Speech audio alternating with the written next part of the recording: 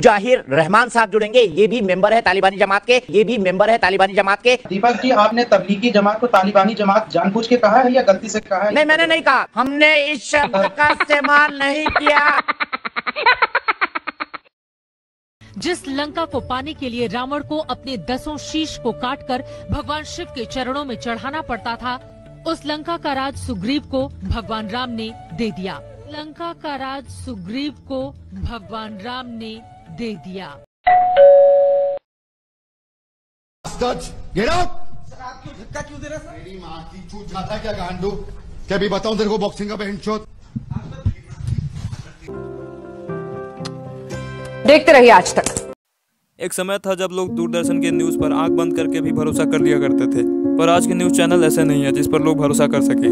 News देखने के बाद हमें खुद ही सोचना पड़ता है कि क्या हम इस पर भरोसा कर सकते हैं, और हमें कौन सा न्यूज़ चैनल देखना चाहिए, ये भी सोचना पड़ता है। समाचार कहीं ना कहीं हमारे समाज पर भी इफ़ेक्ट डालता है, और शायद यही वजह रही होगी कि महात्मा गांधी और नेहरू जी के जैसे नेता देश के लोगों को जागरूक करने के लिए अखबारों का सहारा लेते थे।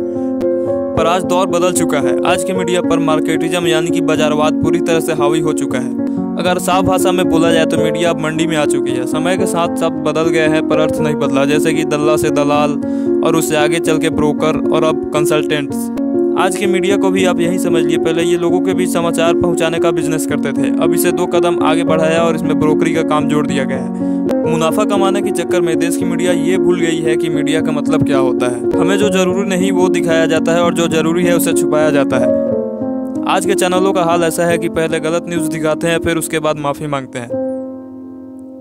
बेवजह की डिबेट कराते हैं, जिनमें इनका ज़्यादातर मुद्दा पाकिस्तान, राम मंदिर, अपोजिशन और गाय होता है। जबकि economy, government, job, school, hospital जैसे मुद्दों पर ये बात करना पसंद नहीं करते। और कभी कभी तो इनका डिबेट हिंसक रूप भी ले लेता है।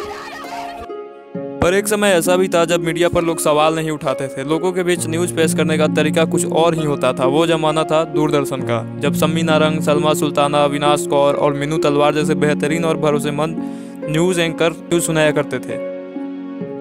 तब के समय शायद 10 परसेंट लोगों के यहाँ भी टीवी नहीं होती थी। आस पड़ोस में कहीं एक सेट होता था तो सब वहीं जाकर समाचार देख लेते थे। तब साफ़ सुथरी भाषा, बेहतरीन वॉइस ओवर वाली आवाज़ ऑपरेशन होता था। खैर, अब तो नए चैनलों के आ जाने से कोई दूरदर्शन देखना पसंद नहीं करता। लेकिन आज दूरदर्शन के उन न्यूज़ एंकरों के बारे में जानेंगे, जिनके टीवी पर आने का लोगों को इंतज़ार रहता था।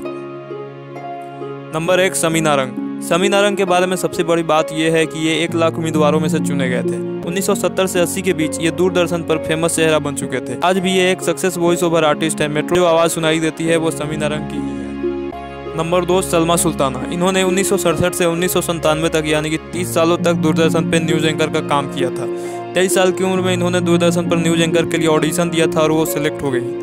न्यूज़ एंकर से रिटायर होने के बाद दूरदर्शन के लिए सामाजिक विषयों पर धारावाहिकों का डायरेक्शन करने लगी जो लोगों को काफ़ी पसंद आते थे। इन, इन्होंने अपने production house lens views private limited के तहत पंचतंत्र से सुनो कहानी स्वर मेरे तुम्हारे और जलते सवाल से सबका ध्यान खींचा था। नंबर तीन अविनाश कौर सिरेन।